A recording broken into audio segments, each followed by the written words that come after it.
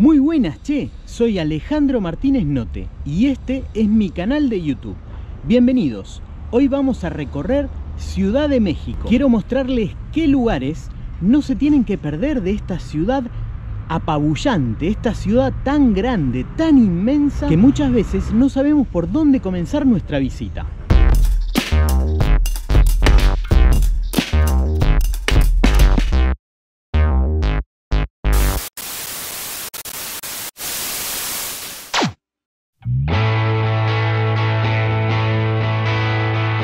Hoy visitamos la capital de México.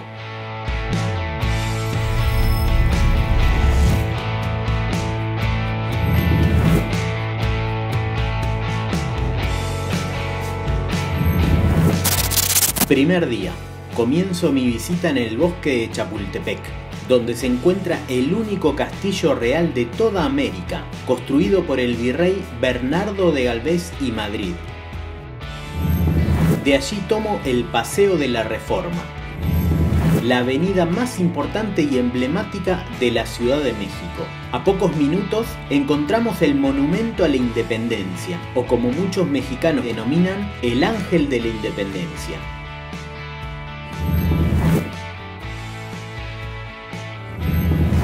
El Monumento a la Revolución cuenta con un mirador desde donde apreciar la inmensidad de la capital y se encuentra en una amplia plaza con mucho ambiente. En realidad iba a ser el Palacio Legislativo Federal y lo que hoy se conoce como el monumento sería solamente la nave principal del edificio. Destaca su doble cúpula cubierta con varias placas de cobre patinado. el Palacio de Bellas Artes alberga la mayor expresión artística de todo México. Además, reúne todas las actividades relacionadas a la cultura, la música y el arte. La sala principal cuenta con un telón realizado de una imponente cortina de cristales que fue hecho por la joyería Tiffany con más de un millón de piezas de cristal que representa el Valle de México.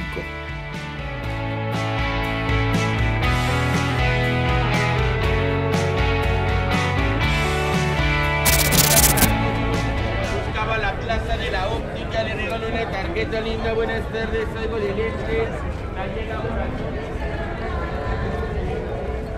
Avanzo por la avenida Francisco Madero hasta el Zócalo, el epicentro político, artístico y cultural de esta gran urbe. ¡Ey! Interrumpo este video para decirles que todos los días estoy compartiendo en mi Twitter, que ya saben es Martínez Note, descuentos, regalos, membresías gratis para que puedan acceder a un montón de beneficios por seguirme en esa cuenta. Así que anótense, Martínez Note, síganme y todos los días van a tener un beneficio exclusivo para todos ustedes. No se lo pierdan.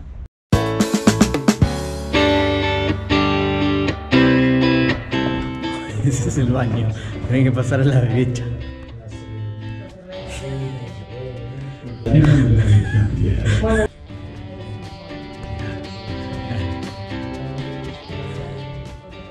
Estamos en el roommate Valentina en Ciudad de México. ¿Qué tal? Algo excepcional. Acá están las dos camas, como pueden ver. A ver la vista.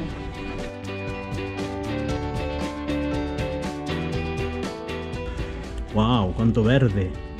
El roommate Valentina se encuentra en plena zona rosa de Ciudad de México, un ambiente efervescente y jubiloso, turista y gay friendly, lleno de fiestas y que emana una energía cinética que comienza la mañana y termina por la mañana del día siguiente.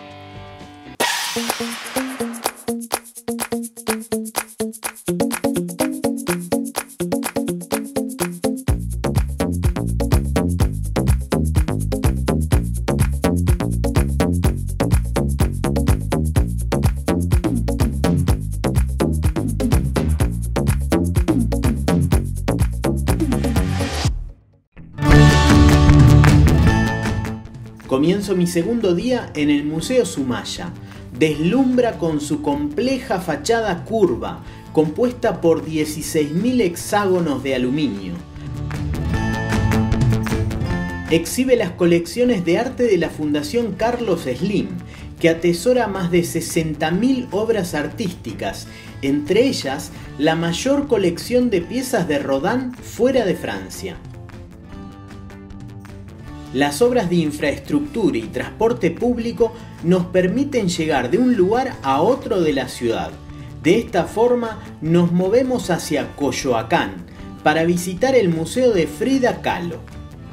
¿Cómo no visitar la casa de un verdadero ícono del arte mexicano? La Casa Azul es una parada obligatoria.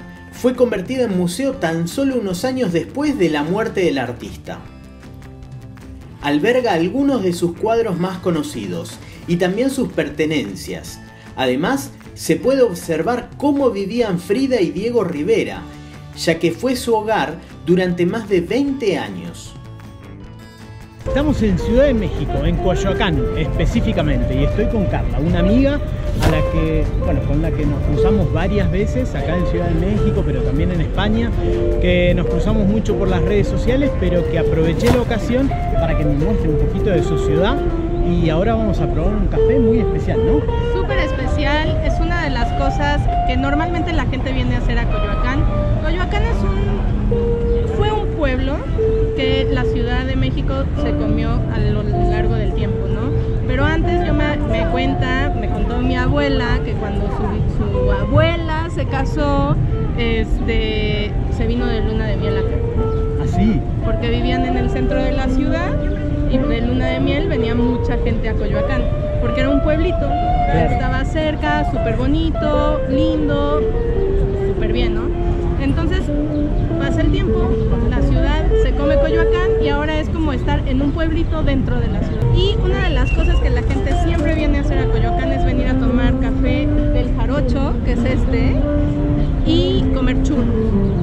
Así que eso es lo que vamos a hacer. Eso vamos a hacer. Ahí empieza nuestro recorrido, vamos.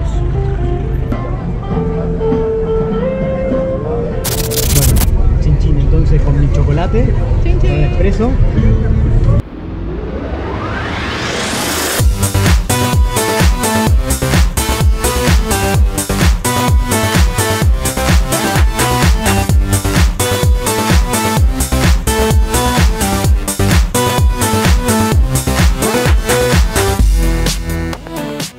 Coyoacán es uno de los barrios más pintorescos y culturales de la Ciudad de México. Mágico por donde se lo mire.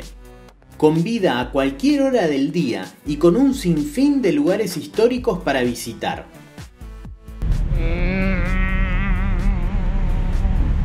Esta técnica Merakio nunca la enseñó en uno de sus videos. ¿eh?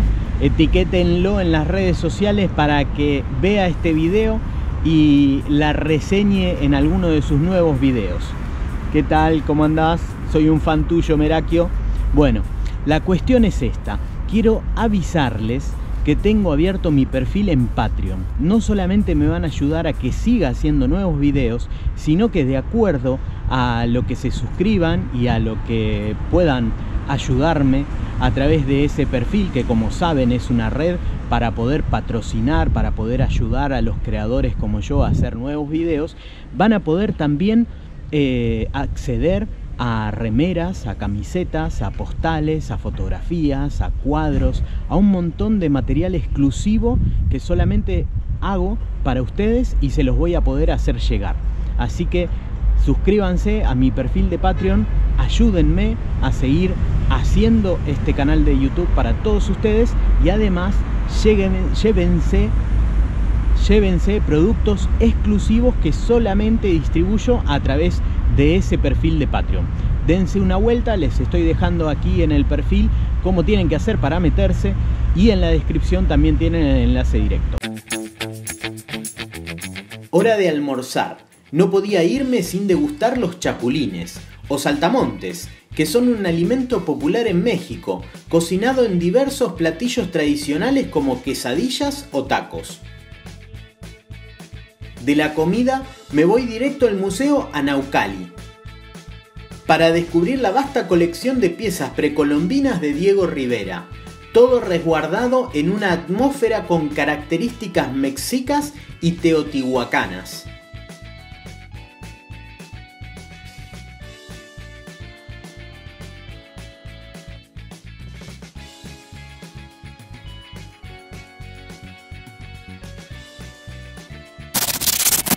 Por la noche me subo al tour que me llevará a uno de los espectáculos más tradicionales de México, la lucha libre. En el autobús pude conocer algunas historias, reírme y hasta sentirme luchador por un momento.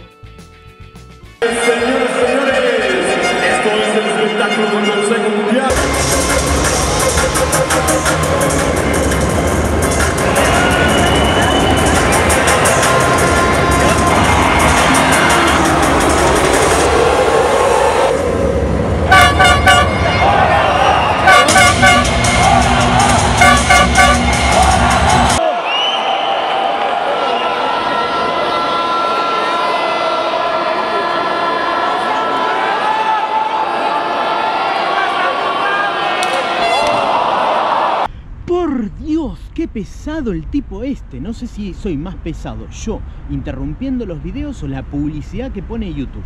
Pero bueno, las dos cosas ayudan, ¿eh? En este momento interrumpía el video para contarles qué les iba a contar. ¿Qué les iba a contar? Ah, sí, que toda la semana saco nuevos videos. La única forma de enterarse el día, porque antes lo hacía siempre el mismo día de la semana, pero me di cuenta que se acostumbran muy rápido ustedes, así que la única forma de enterarse cuando saco nuevos videos es que le den abajo del video a la campanita. Y si le dan a la campanita, les sale una notificación en el teléfono o en el correo electrónico de que saqué un nuevo video. Y de esa forma se van a enterar cuando lo estoy publicando y lo van a poder ver. Así que campanita, suscripción y de esa manera no se pierden ninguno de los próximos videos. Háganme caso. Tercer y último día, en el anteriormente conocido como Distrito Federal. La primera visita del día es al primer recinto mariano más visitado del mundo, superado tan solo por la Basílica de San Pedro en el Vaticano. Anualmente visitan esta basílica unos 20 millones de peregrinos. Me refiero a la Basílica de Santa María de Guadalupe. Entre una de sus curiosidades que más me llamaron la atención se encuentran las pasarelas con bandas transportadoras debajo de la imagen de la Virgen, que permiten que los visitantes la puedan apreciar de la mejor forma posible sin entorpecer la visita de los siguientes peregrinos.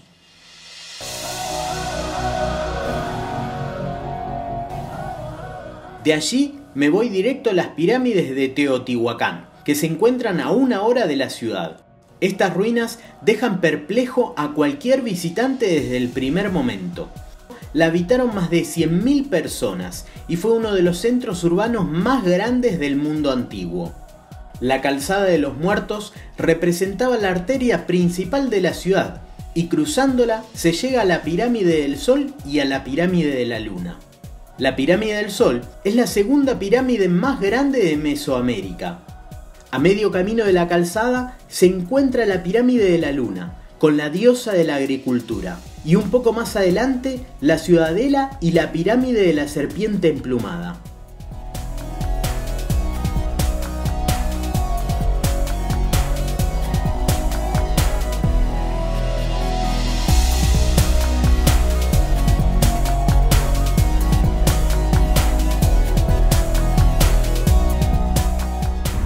Acá está.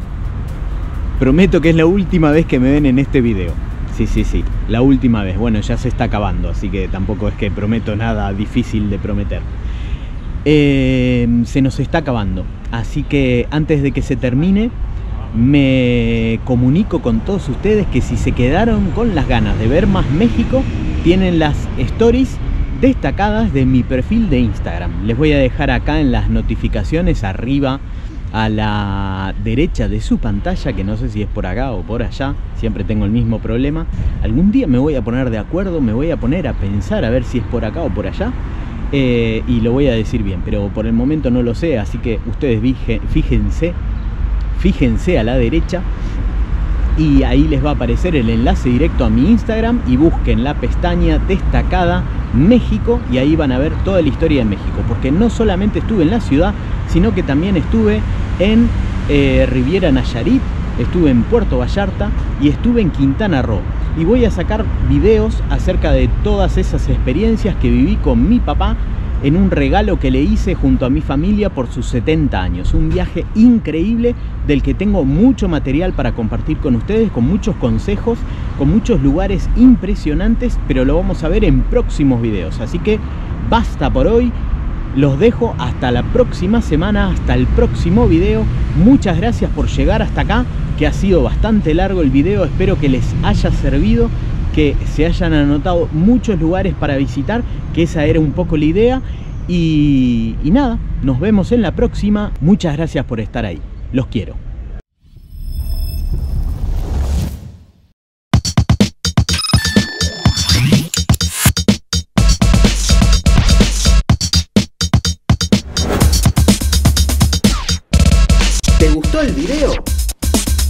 Entonces suscríbete.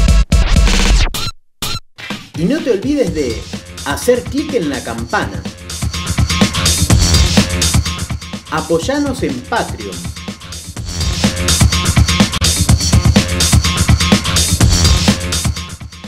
Y como siempre digo, nos vemos en el camino, que hay mucho mundo que recorrer.